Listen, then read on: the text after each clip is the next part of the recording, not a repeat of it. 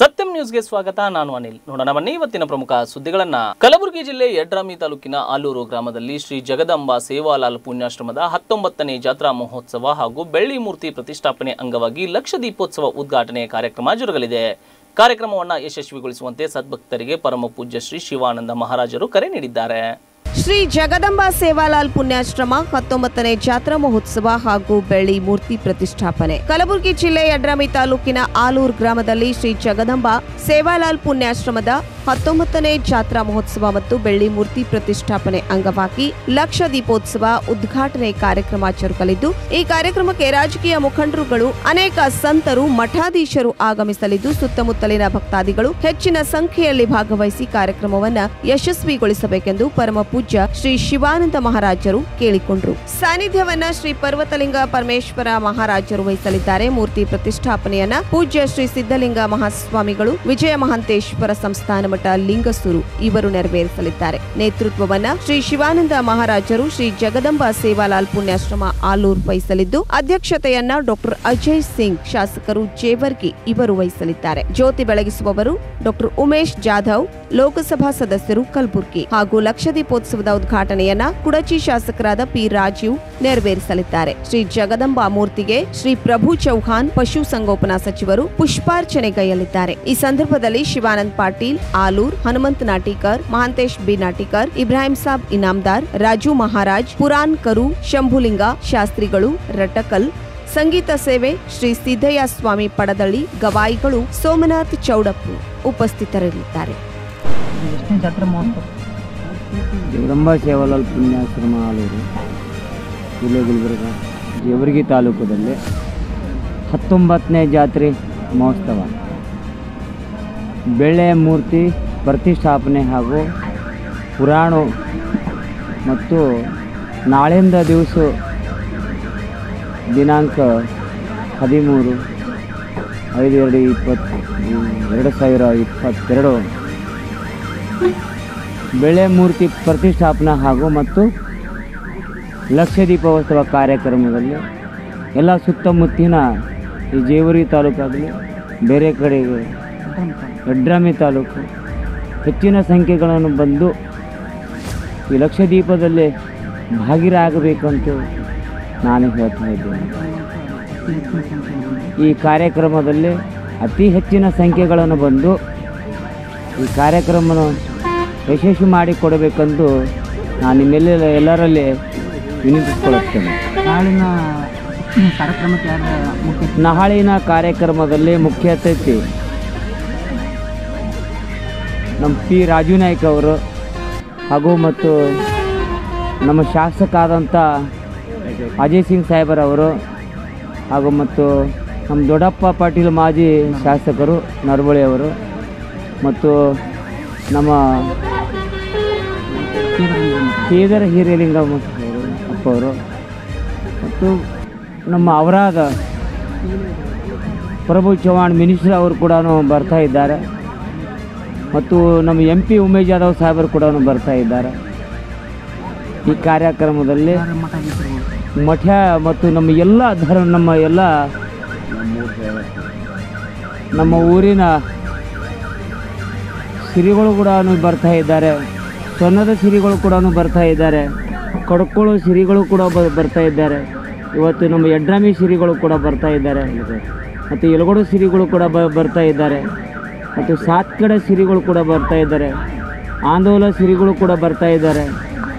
ಮತ್ತು ತೊನಸೇಳಿ ಅಪ್ಪವರು ಕೂಡ ಬರ್ತಾ ಇದ್ದಾರೆ. ಹಾಗೂ ಮತ್ತು ನಮ್ಮ ಧರ್ಮದ ಗುರುಗಳು ಬೇಡ್ಸೂರು ಪರಶುರಾಮ್ ಮಹಾರಾಜರು ಕೂಡ ಬರ್ತಾ ಇದ್ದಾರೆ. ಬಳಿರಾಮ್ ಮಹಾರಾಜರು ಕೂಡ ಬರ್ತಾ ಇದ್ದಾರೆ. ಸಿದ್ಧಲಿಂಗ ಮಹಾಸ್ವಾಮಿಯು ಕೂಡ ಬರ್ತಾ ಇದ್ದಾರೆ. ಮತ್ತು ಲತಾದೇವಿ ಮಾತಿ ಅವರು ಕೂಡ ಇಲ್ಲಿ ಬರ್ತಾ ಇದ್ದಾರೆ. ಮುರಹಾರಿ ಮಹಾರಾಜರು ಕೂಡ ಬರ್ತಾ ಇದ್ದಾರೆ. ಲೋಕೇಶ್ ಮಹಾರಾಜರು ಕೂಡ ಬರ್ತಾ ಇದ್ದಾರೆ. ಅನೇಕ ಎಸ್ ಟಿ ವಿದ್ಯಾರ್ಥಿಗಳಿಗೆ ವರ್ಷ ಕಳೆದರೂ ಪುಸ್ತಕ ದೊರಕುತ್ತಿಲ್ಲ. ಇದನ್ನು ಖಂಡಿಸಿ ಲಿಂಗಸ್ಗೂರು ತಾಲೂಕಿನ ಹಟ್ಟಿ ಚಿನ್ನದ ಗಣಿಯಲ್ಲಿ ಹಟ್ಟಿ ಪಟ್ಟಣ ಪಂಚಾಯಿತಿ ಎದುರು ಮುಖ್ಯಾಧಿಕಾರಿಯ ಬೇಜವಾಬ್ದಾರಿತನವನ್ನು ಖಂಡಿಸಿ ಎಸ್ಎಫ್ಐ ಸಂಘಟನೆಯಿಂದ ಧರಣಿ ನಡೆಸಲಾಯಿತು. ರಾಯಚೂರು ಜಿಲ್ಲೆಯ ಲಿಂಗಸುಗೂರು ತಾಲೂಕಿನ ಹಟ್ಟಿ ಚಿನ್ನದ ಗಣಿಯಲ್ಲಿ ಹಟ್ಟಿ ಪಟ್ಟಣ ಪಂಚಾಯಿತಿ ಎದುರು ಎಸ್ಎಫ್ಐ ಸಂಘಟನೆಯಿಂದ ಪ್ರತಿಭಟನೆ ಮತ್ತು ಧರಣಿ ನಡೆಸಲಾಯಿತು. ಎಸ್ಸಿ ಎಸ್ಟಿ ವಿದ್ಯಾರ್ಥಿಗಳಿಗೆ ವರ್ಷ ಕಳೆದರೂ ದೊರೆಯದ ಪಠ್ಯಪುಸ್ತಕ.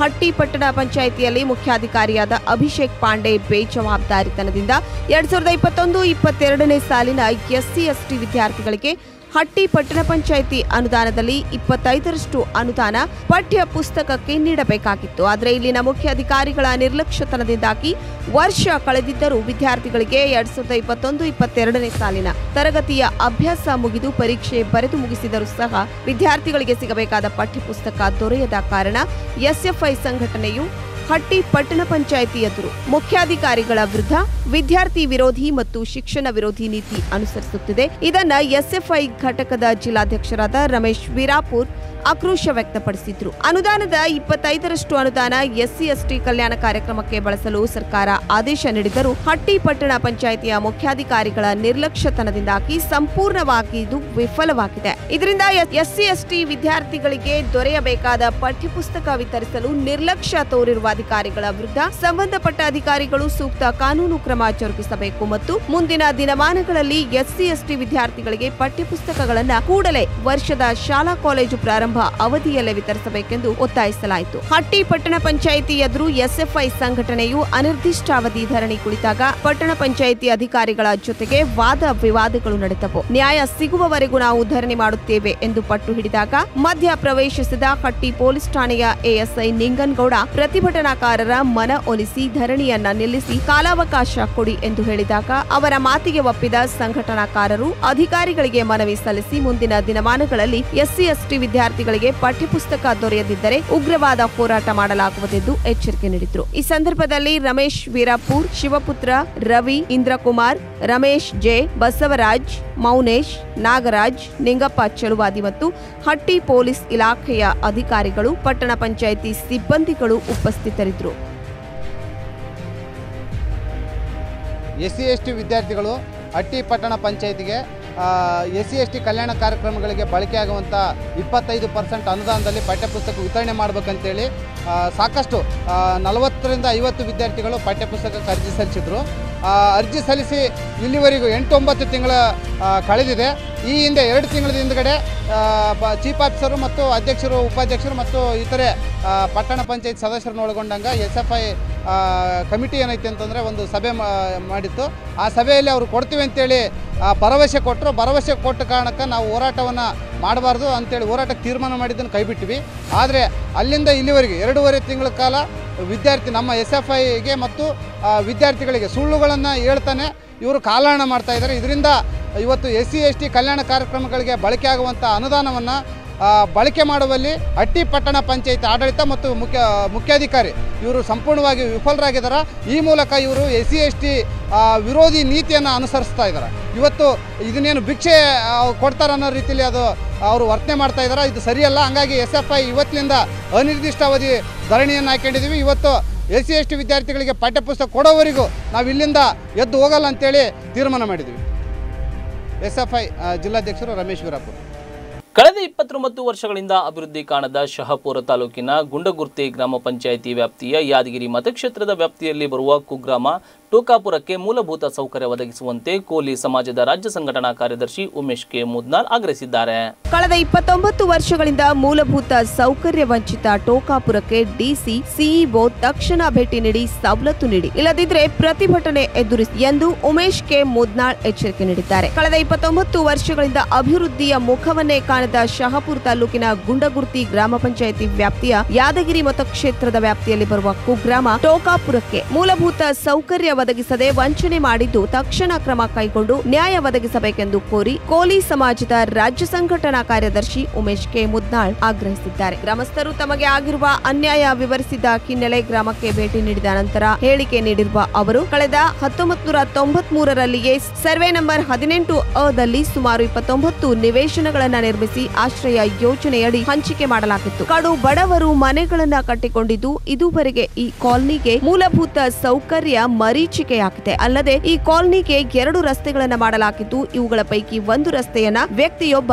ಅತಿಕ್ರಮವಾಗಿ ಒತ್ತುವರಿ ಮಾಡಿಕೊಂಡು ಕಾಂಪೌಂಡ್ ಗೋಡೆ ಕಟ್ಟಿಕೊಂಡು ರಸ್ತೆಯನ್ನ ಬಂದ್ ಮಾಡಿದ್ದು ಜನತೆಗೆ ತೀವ್ರ ತೊಂದರೆಯಾಗುತ್ತಿದೆ. ಮೊದಲೇ ನರಕಯಾತನೆ ಅನುಭವಿಸುತ್ತಿರುವ ಜನತೆಗೆ ಈ ವ್ಯಕ್ತಿಯ ಒತ್ತುವರಿಯಿಂದಾಗಿ ಇನ್ನಷ್ಟು ಸಂಕಷ್ಟವಾಗಿದ್ದು, ಇಲ್ಲಿನ ಮನೆಯ ನಿವಾಸಿಗಳು ಹೊರಗೆ ಹೋಗಬೇಕಾದರೆ ಸುತ್ತಿ ಬಳಸಿ ಹೋಗುವಂತಾಗಿದೆ. ಈ ಬಡಾವಣೆಗೆ ಕುಡಿಯುವ ನೀರಿಗೆ ಒಂದು ಕೈ ಪಂಪ್ ಇದ್ದರೂ ಅದು ಕೂಡ ಕೆಟ್ಟು ಹೋಗಿದೆ. ಇದುವರೆಗೂ ದುರಸ್ತಿ ಕಂಡಿಲ್ಲ. ನೀರಿಗಾಗಿ ಸುತ್ತಿ ಬಳಸಿ ಕೆನಾಲ್ ದಾಟಿ ಬರುವ ಪರಿಸ್ಥಿತಿ ಬಂದೊದಗಿದೆ. ನೀರು ತಂದ ನಂತರ ಕೂಲಿಗೆ ಹೋಗಬೇಕಿದೆ. ವಿದ್ಯುತ್ ಸೌಕರ್ಯವೂ ಇಲ್ಲ.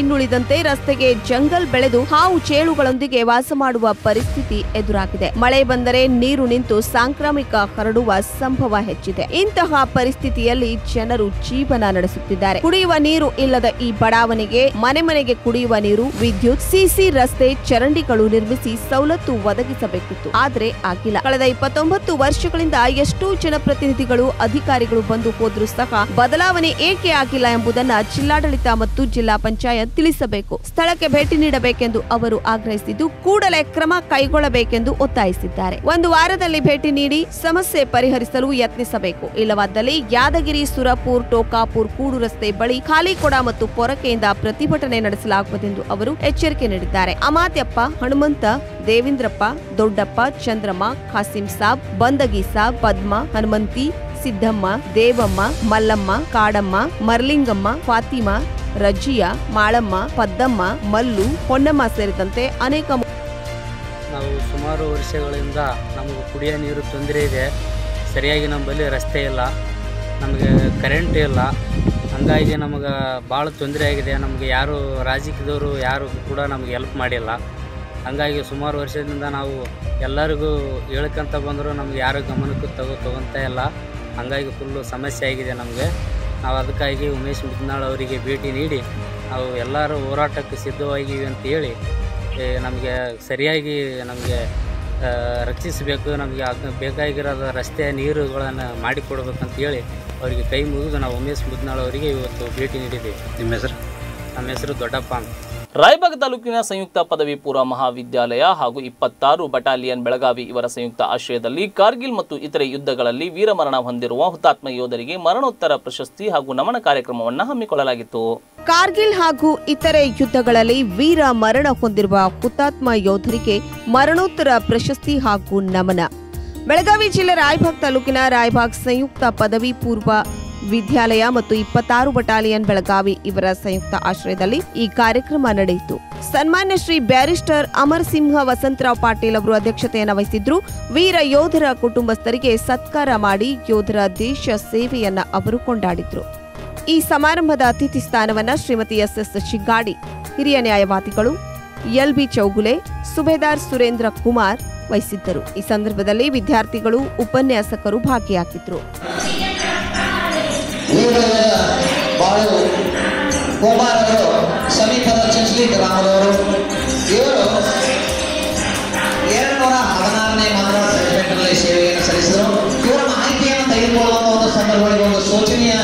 ಒಂದು ಸಂಗತಿಯನ್ನು ನಮ್ಮ ಮುಂದೆ ಗಮನಕ್ಕೆ ಇಟ್ಟರು ಕುಟುಂಬದವರು ಏನಪ್ಪ ಅಂದರೆ ಕೇವಲ ಮದುವೆಯಾಗಿ ಎರಡೇ ಎರಡು ತಿಂಗಳಲ್ಲಿ ಆ ಒಂದು ತನ್ನ ಹೆಂಡತಿಯನ್ನಾಗಿರ್ತಕ್ಕಂಥ ಆ ವ್ಯಕ್ತಿ ಇವತ್ತು ಅವರ ಸೇವೆಯನ್ನು ಪ್ರಾರಂಭಿಸಿದರು.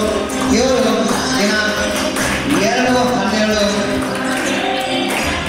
ಹತ್ತೊಂಬತ್ತು ನೂರ ಅರವತ್ತೈದರಲ್ಲಿ ವೀರ ಮರಣವನ್ನು ಹೊಂದಿದರು ಇಂತಹ ವೀರವರ್ಣವನ್ನು ಹೊಂದಿರತಕ್ಕಂತಹ ವೀರ ಯೋಧರು ನಮ್ಮ ಭೂಮಿ ಮೇಲೆ ಮತ್ತೆ ಹುಟ್ಟಿ ಬರಲಿ ಅನ್ನುವಂತಹ ಒಂದು ಆಶಯದೊಂದಿಗೆ ಜ್ವರ ಚಪ್ಪಾಳೆಯೊಂದಿಗೆ ಇವರು ಹುಕ್ಕೇರಿ ನಗರದ ಶ್ರೀ ಗುರುಶಾಂತೇಶ್ವರ ಸಂಸ್ಥಾನ ಹಿರೇಮಠದಲ್ಲಿ ಗುರುಶಾಂತೇಶ್ವರರ ಜಾತ್ರಾ ಮಹೋತ್ಸವದ ಅಂಗವಾಗಿ ಮೇ ಒಂದರಿಂದ ಹನ್ನೆರಡರವರೆಗೆ ಗುರುಶಾಂತೇಶ್ವರರ ಪಾದುಕೆಗೆ ರುದ್ರಾಭಿಷೇಕ ಸೇರಿದಂತೆ ವಿಶೇಷ ಪೂಜೆ, ಧಾರ್ಮಿಕ ವಿಧಿ ವಿಧಾನಗಳು ಜರುಗಿದವು.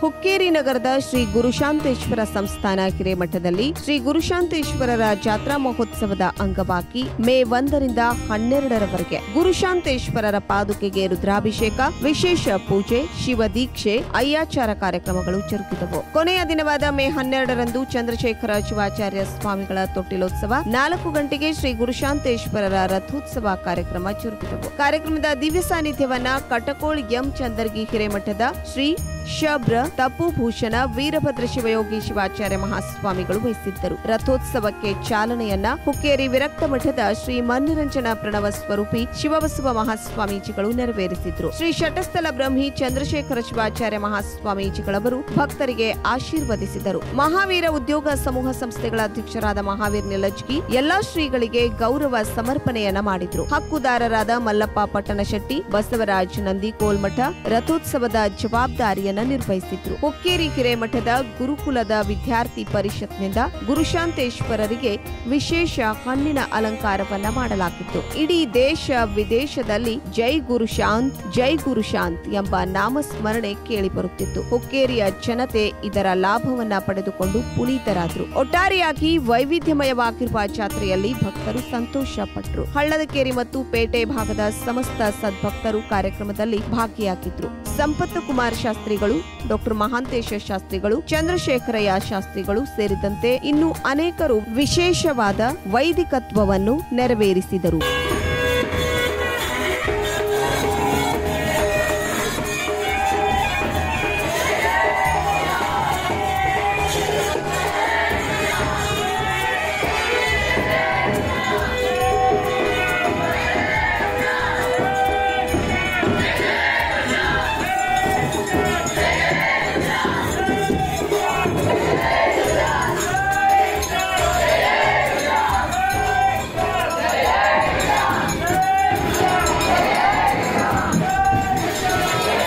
ಬೆಳಗಾವಿ ಜಿಲ್ಲೆಯ ಜಿಲ್ಲಾ ಹಾಗೂ ತಾಲೂಕು ಪಂಚಾಯಿತಿಗಳ ಸದಸ್ಯರ ಕ್ಷೇತ್ರಗಳ ಸಂಖ್ಯೆಯನ್ನು ಕರ್ನಾಟಕ ಪಂಚಾಯತ್ ರಾಜ್ಯ ಸೀಮಾ ನಿರ್ಣಯ ಆಯೋಗವು ನಿಗದಿಪಡಿಸಲು ನಿರ್ಣಯಿಸಿದೆ ಎಂದು ಜಿಲ್ಲಾಧಿಕಾರಿ ನಿತೇಶ್ ಪಾಟೀಲ್ ತಿಳಿಸಿದ್ದಾರೆ.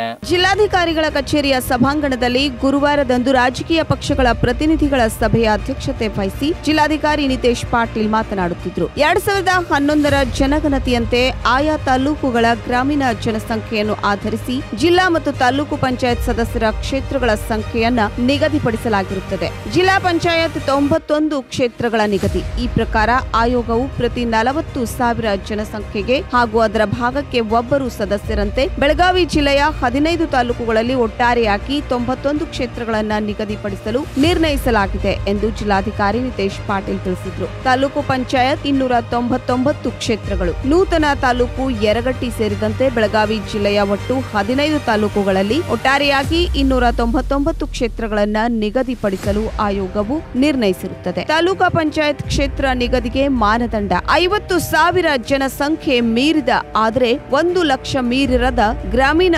ಜನಸಂಖ್ಯೆಯನ್ನು ಹೊಂದಿರುವ ತಾಲೂಕುಗಳಲ್ಲಿ ಕನಿಷ್ಠ ಒಂಬತ್ತು ಕ್ಷೇತ್ರಗಳು. ಒಂದು ಲಕ್ಷ ಮೀರಿದ, ಆದರೆ ಎರಡು ಲಕ್ಷ ಗ್ರಾಮೀಣ ಜನಸಂಖ್ಯೆ ಮೀರಿರದ ತಾಲೂಕುಗಳಲ್ಲಿ ಪ್ರತಿ ಹತ್ತು ಸಾವಿರಕ್ಕೆ ಒಬ್ಬ ಚುನಾಯಿತ ಸದಸ್ಯ ಇರತಕ್ಕದ್ದು ಹಾಗೂ ಅಲ್ಲಿ ಕನಿಷ್ಠ ಹನ್ನೊಂದು ಚುನಾಯಿತ ಸದಸ್ಯರಿರತಕ್ಕದ್ದು. ಯಾವುದೇ ತಾಲೂಕು ಪಂಚಾಯಿತಿಯ ಎರಡು ಲಕ್ಷದಿಂದ ಎರಡು ಪಾಯಿಂಟ್ ಇಪ್ಪತ್ತೆಂಟು ಲಕ್ಷದೊಳಗಿನ ಜನಸಂಖ್ಯೆಗೆ ಕನಿಷ್ಠ ಇಪ್ಪತ್ತು ಸದಸ್ಯರನ್ನ ನಿಗದಿಪಡಿಸಲು ಆಯೋಗ ನಿರ್ಣಯಿಸಿದೆ. ಎರಡು ಲಕ್ಷ ಮೀರಿದ ಗ್ರಾಮೀಣ ಜನಸಂಖ್ಯೆಯನ್ನು ಹೊಂದಿರುವ ತಾಲೂಕುಗಳಲ್ಲಿ ಪ್ರತಿ ಹನ್ನೆರಡು ಸಾವಿರಕ್ಕೆ ಕಡಿಮೆ ಅಲ್ಲದ ಜನಸಂಖ್ಯೆಗೆ ಒಬ್ಬ ಚುನಾಯಿತ ಸದಸ್ಯ ಇರತಕ್ಕದ್ದು. ಹೀಗೆ ತಾಲೂಕುವಾರು ಗ್ರಾಮೀಣ ಜನಸಂಖ್ಯೆಯನ್ನು ಆಧರಿಸಿ ಜಿಲ್ಲೆಯ ಹದಿನೈದು ತಾಲೂಕುಗಳಲ್ಲಿ ಒಟ್- ಒಟ್ಟಾರೆಯಾಗಿ ತೊಂಬತ್ತೊಂದು ಜಿಲ್ಲಾ ಪಂಚಾಯತ್ ಕ್ಷೇತ್ರಗಳು ಮತ್ತು ಇನ್ನೂರ ತೊಂಬತ್ತೊಂಬತ್ತು ತಾಲೂಕು ಪಂಚಾಯತ್ ಕ್ಷೇತ್ರಗಳನ್ನ ಈ ಕೆಳಕಂಡಂತೆ ನಿಗದಿಪಡಿಸಲು ನಿರ್ಣಯಿಸಲಾಗಿರುತ್ತದೆ. ತಾಲೂಕುವಾರು ಜಿಲ್ಲಾ ಪಂಚಾಯತ್ ತಾಲೂಕು ಪಂಚಾಯತ್ ಕ್ಷೇತ್ರಗಳ ವಿವರ. ಕಾಗವಾಡ್, ಜಿಲ್ಲಾ ಪಂಚಾಯತ್ ಮೂರು ತಾಲೂಕು ಪಂಚಾಯತ್ ಒಂಬತ್ತು. ಕಿತ್ತೂರು, ಜಿಲ್ಲಾ ಪಂಚಾಯತ್ ಮೂರು ತಾಲೂಕು ಪಂಚಾಯತ್ ಒಂಬತ್ತು. ಮೂಡಲಗಿ ಜಿಲ್ಲಾ ಪಂಚಾಯತ್ ನಾಲ್ಕು, ತಾಲೂಕು ಪಂಚಾಯತ್ ಹದಿನಾಲ್ಕು ನಿಪ್ಪಾಣಿ ಜಿಲ್ಲಾ ಪಂಚಾಯತ್ ಐದು, ತಾಲೂಕು ಪಂಚಾಯತ್ ಇಪ್ಪತ್ತು, ಬೈಲಹುಂಗಲ ಜಿಲ್ಲಾ ಪಂಚಾಯತ್ ಆರು, ತಾಲೂಕು ಪಂಚಾಯತ್ ಇಪ್ಪತ್ತು, ರಾಮದುರ್ಗ ಜಿಲ್ಲಾ ಪಂಚಾಯತ್ ಆರು, ತಾಲೂಕು ಪಂಚಾಯತ್ ಇಪ್ಪತ್ತು, ಖಾನಾಪುರ್ ಜಿಲ್ಲಾ ಪಂಚಾಯತ್ ಆರು, ತಾಲೂಕು ಪಂಚಾಯತ್ ಇಪ್ಪತ್ತು, ಗೋಕಾಕ್ ಜಿಲ್ಲಾ ಪಂಚಾಯತ್ ಏಳು, ತಾಲೂಕು ಪಂಚಾಯತ್ ಇಪ್ಪತ್ತೊಂದು, ಚಿಕ್ಕೋಡಿ ಜಿಲ್ಲಾ ಪಂಚಾಯತ್ ಏಳು, ತಾಲೂಕು ಪಂಚಾಯತ್ ಇಪ್ಪತ್ತೆರಡು ರಾಯಬಾಗ್ ಜಿಲ್ಲಾ ಪಂಚಾಯತ್ ಏಳು, ತಾಲೂಕು ಪಂಚಾಯತ್ ಇಪ್ಪತ್ಮೂರು, ಸವದತ್ತಿ ಜಿಲ್ಲಾ ಪಂಚಾಯತ್ ಆರು, ತಾಲೂಕು ಪಂಚಾಯತ್ ಇಪ್ಪತ್ತು, ಅಥಣಿ ಜಿಲ್ಲಾ ಪಂಚಾಯತ್ ಒಂಬತ್ತು, ತಾಲೂಕು ಪಂಚಾಯತ್ ಇಪ್ಪತ್ತೆಂಟು, ಹುಕ್ಕೇರಿ ಜಿಲ್ಲಾ ಪಂಚಾಯತ್ ಒಂಬತ್ತು, ತಾಲೂಕು ಪಂಚಾಯತ್ ಇಪ್ಪತ್ತೊಂಬತ್ತು, ಬೆಳಗಾವಿ ಜಿಲ್ಲಾ ಪಂಚಾಯತ್ ಹನ್ನೊಂದು, ತಾಲೂಕು ಪಂಚಾಯತ್ ಮೂವತ್ತೈದು, ಯರಗಟ್ಟಿ ಜಿಲ್ಲಾ ಪಂಚಾಯತ್ ಎರಡು, ತಾಲೂಕು ಪಂಚಾಯತ್ ಒಂಬತ್ತು. ಈ ಕುರಿತು ವಿವರವಾದ ಮಾಹಿತಿಯನ್ನು ಪರಿಶೀಲಿಸಿ ಸಾರ್ವಜನಿಕರು ತಮ್ಮ ಆಕ್ಷೇಪಣೆಗಳನ್ನು ಸಲ್ಲಿಸಲು ಅವಕಾಶ ಕಲ್ಪಿಸಲಾಗಿರುತ್ತದೆ. ಆಕ್ಷೇಪಣೆಗಳು ಇದ್ದಲ್ಲಿ ಏಳು ದಿನಗಳಲ್ಲಿ ಜಿಲ್ಲಾಧಿಕಾರಿಗಳ ಕಚೇರಿಗೆ ಲಿಖಿತವಾಗಿ ಸಲ್ಲಿಸಬೇಕೆಂದು ಜಿಲ್ಲಾಧಿಕಾರಿ ನಿತೇಶ್ ಪಾಟೀಲ್ ತಿಳಿಸಿದ್ದಾರೆ. ಇದಾಗಿತ್ತು ಇವತ್ತಿನ ಸುದ್ದಿ ವಿಶೇಷ. ನಿರಂತರ ಸುದ್ದಿ ಹಾಗೂ ಮನರಂಜನೆಗಾಗಿ ನೋಡ್ತಾ ಇರಿ ಸತ್ಯಂ ಟಿವಿ ಕನ್ನಡ. ನಮ್ಮ ನಡೆ ಸತ್ಯದ ಕಡೆ.